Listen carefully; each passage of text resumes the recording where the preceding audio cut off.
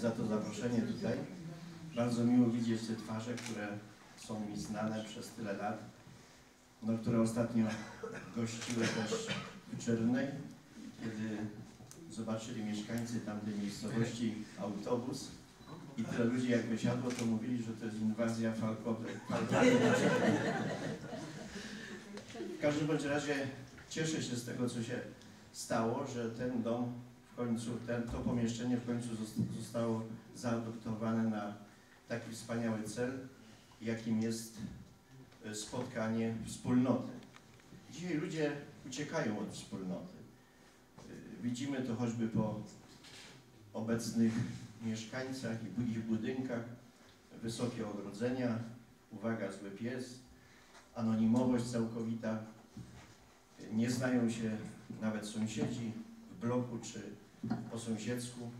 Wspaniałym jest to, do czego Wy chcecie dopiąć, mianowicie, żeby tutaj tworzyć wspólnotę. I ja tak myślę, że to, ta wspólnota tutaj może powstawać przy różnych okazjach, tak jak mówił Pan Prezydent. Dodałbym tylko, że nawet imieniny można robić tutaj wspólnie. Sąsiad, sąsiad, sąsiad może zaprosić wspólnotę większą jakoś innych sąsiadów. Wspaniałe by to było, tak samo okładek wigilijny czy inne rzeczy.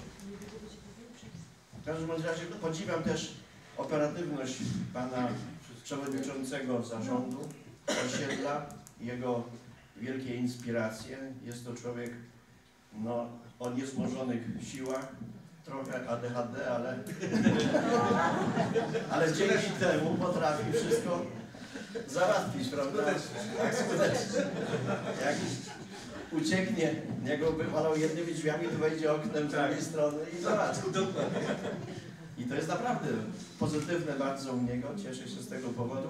Zresztą za czasów jego e, pontyfikatu tutaj naprawdę, naprawdę ta wspólnota się tak zjednoczyła, jest taka mocna, choćby te wycieczki i tak dalej, które ostatnio odbywały się.